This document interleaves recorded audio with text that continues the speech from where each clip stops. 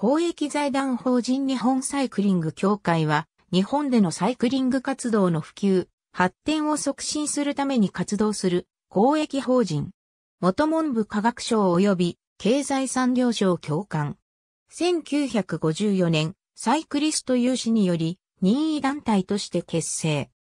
1961年、スポーツ振興法の制定によりサイクリングは国民の心身の健全化に有効なスポーツとして国が奨励することが明文化されたのを契機に、1964年5月22日、文部大臣からサイクリングの普及推進を目的とする公益事業を行う財団法人として認可され設立された。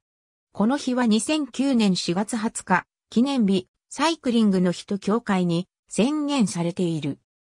その後、1975年6月、サイクリングは自転車等関連機械工業の振興にも寄与するものとして、通商産業省、文部省との共感の団体となり、現在は経済産業省、文部科学省の共感団体となっている。